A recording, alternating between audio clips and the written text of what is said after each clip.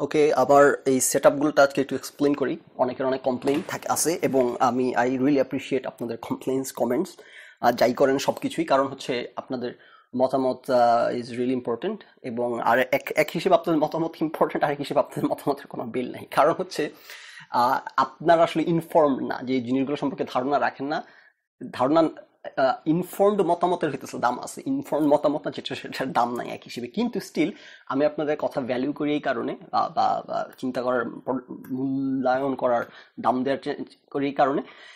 কারণ আমার হিসেব হইতে যেমন আমি কম্পোজার মিউজিশিয়ান গান বানাই। তো আমরা যারা মিউজিশিয়ান আমরা গান বানানোর সময় অনেক ভুগিযুগি রাখার চেষ্টা করি। গানে অনেক ডিটেলস অনেক টেকনিক্যাল ডিটেলস ডিটেলস করার চেষ্টা করি। যেন অন্য একটা মিউজিশিয়ান শুনে অ্যাপ্রিসিয়েট করে যে গানটা অনেক রিচ হয়েছে অল সাধারণ শ্রোতারা কিন্তু বোঝে না। ওখানে কোথায় কি হয়েছে না, তারা শুধু সুর শুনে আর কম্পোজিশনটা দেখে ভালো লাগে কিনা, গানটা শুনতে। সো আমি নিজে যখন কম্পোজিশন করি আমার এরকম থাকে যে, ভুগিচুগি করার আলটিমেটলি সাধারণ মানুষ, গান শুনে সাধারণ মানুষ ভুগিচুগে বোঝে না, তারা শুনে তাদের ভালো লাগছে কিনা ওভারঅল সো ওইটারও একটা দাম আমার কাছে আছে এবং আমি ওই জিনিসটাকে, আমি নিজে গান বানানোর সময় কিছুটা সিম্পল কথা, সুর বা কিছুটা সুরেলা বা কিছুটা মানুষ কানেক্ট করতে পারে, এটাকে প্রায়োরিটি দিই। যেটা বললাম যে তারা ইনফর্ম না, তারা ডিটেলসগুলো বোঝে না, কিন্তু তারা অ্যাটলিস্ট জাজ করতে পারে ওভারঅল সো ওই সেন্সে এই এই সব সেট আপের যে ডিটেলসগুলো এইগুলো নিয়ে আপনারা যারা জানেন না, আপনারা অনেক কিছু বুঝবেন না বা অনেক চিন্তা মাথায় আসবে না জাস্ট একটা কমেন্ট করবেন বা করে দিবেন। দ্যাটস ওকে সবার সব ডিটেলস বোঝার দরকার নেই। আমি আজকে কিছু ডিটেলস বোঝাই যে ঘটনাটা কি।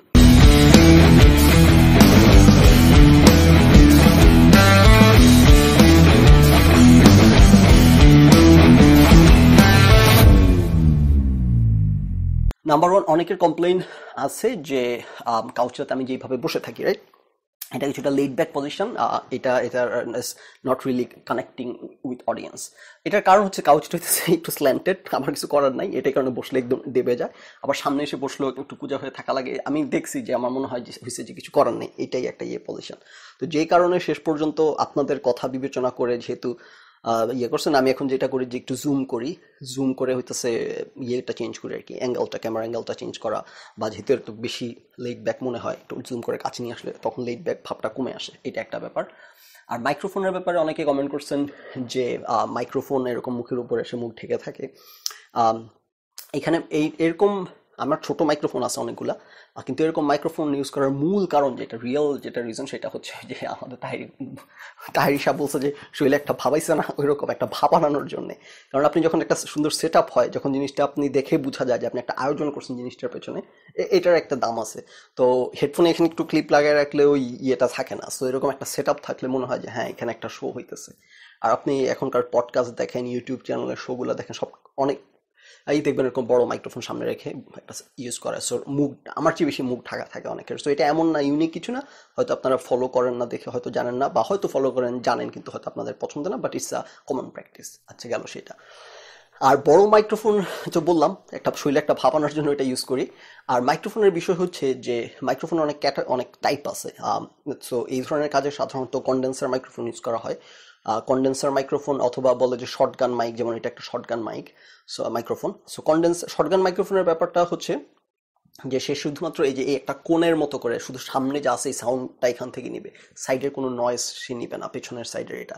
কন্ডেন্সার মাইক্রোফোনের কাজও একই কন্ডেন্স জাস্ট কন্ডেন্সড সাউন্ড নেয় সো ভালো বেটার সাউন্ডের জন্য সেটার দরকার।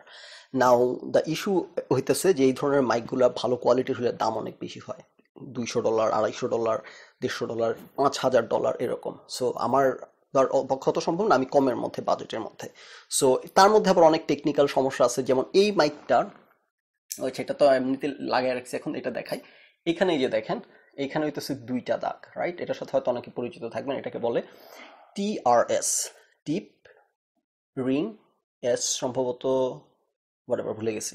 আর টিআরআরএস হইতেছে যে এই এই টাইপেরগুলো, যেগুলো আমাদের হেডফোনে আমরা ফোনে ইউজ করি, এটা হচ্ছে টি যে তিনটা এখানে, টিপ, আর আর, তারপর এস হোয়াট এভার দেখেন এখানে তিনটা দাগ, এইটাতে দুইটা দাগ। তো এইটা সমস্যা যেটা হয়েছে, এটা আমরা ক্যামেরাতে ইউজ করতে পারব। সরাসরি এটা হইতেছে, শুধুমাত্র অডিও ইনপুট নিতে পারে। আমরা হেডফোন যে ফোনে ইউজ করি বা কম্পিউটার ইউজ করি, সেটা কিন্তু আমরা একটা পোর্ট দিয়েই আমরা কথা বলে রেকর্ডও হয়, আবার শুনতেও পারি। একটা পোর্ট আলাদা না।